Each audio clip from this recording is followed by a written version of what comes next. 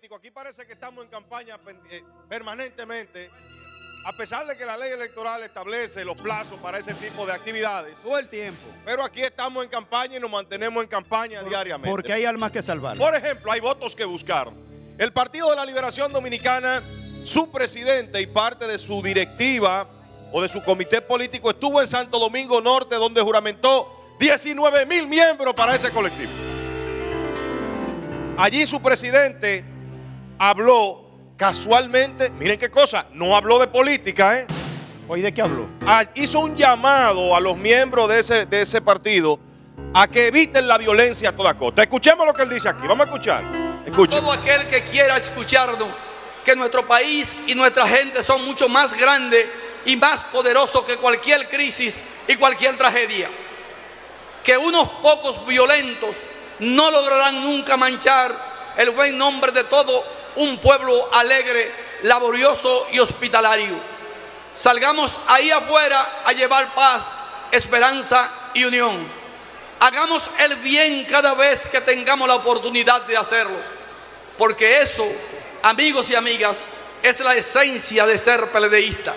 Recordemos okay, a todos que ese fue parte del mensaje. Buen mensaje, buen, buen mensaje. Hermoso discurso, así se habla, Danilo. No, lo, no lo asume como político, Julio. Eh, no, yo no lo asumo como político no lo en el sentido. Ni lo en el sentido de que quizás a su militancia y a los miembros de ese colectivo político es un llamado prudente que en este no, momento no, no, no, hay mensaje más político que precisamente no hablar de política. Oye, además no, el llamado no es el llamado no es solo a su militancia, pero además de eso, yo creo que hay algunos elementos que sería interesante a propósito de eso. Ajá. Que ciertamente todos están en política y en campaña Sí. y eso es incorrecto, es extemporáneo y uno no sabe dónde están los que tienen que hacer el llamado de atención o aplicar lo que establecen las leyes. Pero bien, de todas maneras, yo no entiendo. Me hizo- voy a hacerme algunas preguntas. Primera pregunta. Há-. ¿Cómo es posible? Sí. ¿Cómo es posible que tú puedas? Porque hoy por fin ellos aclararon que eso es simbólico, lo de la cantidad que ellos hablan. Entonces, ¿cómo se puede juramentar de manera simbólica 19 mil personas? una muestra representativa, según lo que ellos explicaron. Pero ¿cómo lo pueden determinar? O sea, ¿de dónde me saca Danilo Medina, el presidente del PLD, que son 19 mil personas? No veo Por la mayor lado. preocupación por Por- eso, no veo eso, mayor eso es un asunto que tú dices, venga acá, ¿cuál es el, el efecto que se quiere crear? Pero además, cuando tú ves sobre las probabilidades, tú dices, pero óyeme, y esa fascinación por el PLD, ¿de dónde le ha surgido a la gente tan rápidamente después que el PLD fue sacado ¿A cuál de, gente? de manera complicada? eh, y compleja del poder, con una división que eso tuvo su infarto. Allá vamos ahora, allá vamos. Oye, no, no, pero yo estoy diciendo con una división, Ajá. con muchos expedientes de corrupción que si se van a demostrar o no, mientras Sí. tanto cuestionan, con el propio presidente, expresidente y presidente del partido también siendo investigado. dijo otra cosa también. Entonces, entonces, todo eso, con ese cuadro, ¿de Sí. dónde le está saliendo a la gente esa fascinación para unas eh, juramentaciones que son además eh, simbólicas, pero que tienen pero- no- no- pero- nombres y apellidos pero- y números? Pero de todos modos, Ivonne, de todos modos, brevemente, Pero- Julio, para Sí, sí, pasar a otra sí. información. De todos modos, esa es la labor de un partido Totalmente. político, ¿verdad?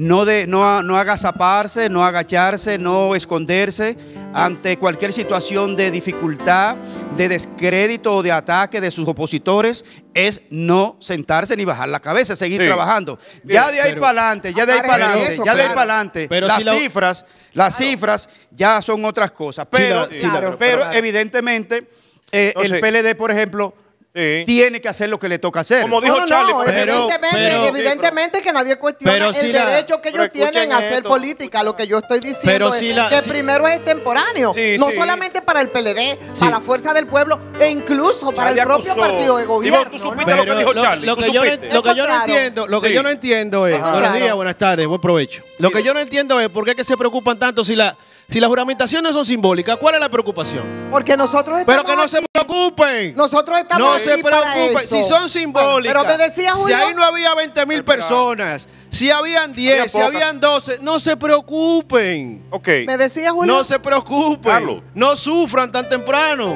Oye, Carlos, Carlos, oye esto. Tú, tú- bueno, tú sabes lo que Charlie dijo, que acusó al presidente de la Fuerza del Pueblo de ser aliado al gobierno, banda, y de desmembrar el PLD. Pero eso no es mentira. Pero está bien. Pero él fue aliado. Sin embargo, él fue sin aliado del embargo, PRM. el presidente de la Fuerza del Pueblo también en un acto político, escuchen lo que dijo. Vamos. Escuchémoslo. Y esa crisis gerencial que existe agrava la crisis mundial. Y por eso cuando nos dicen hay inflación en el mundo, decimos es verdad. Pero ¿por qué la inflación en República Dominicana es mayor que en México? ¿Por qué es mayor que en Guatemala? ¿Por qué es mayor que en Costa Rica? ¿Por qué es mayor que en Nicaragua? ¿Por qué es mayor que en Colombia? ¿Por qué es mayor en Chile? Y la respuesta es porque no saben gobernar. ¿Está bien? Entonces, entonces no entiendo. Van a preguntarle a Ivonne qué ella piensa de eso.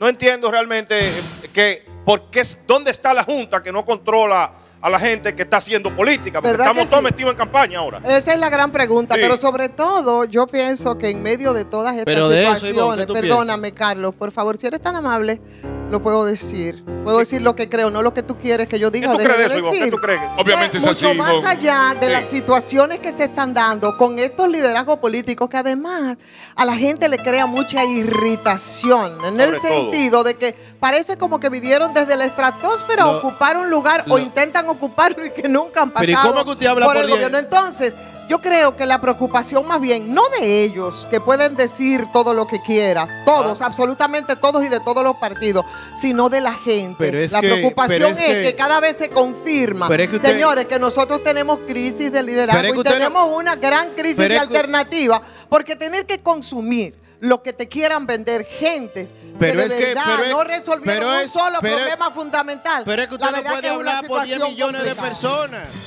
Usted no puede hablar por 10 millones de gente. Esto se pone sabroso. Estamos en el territorio del señor Vos, Carlos.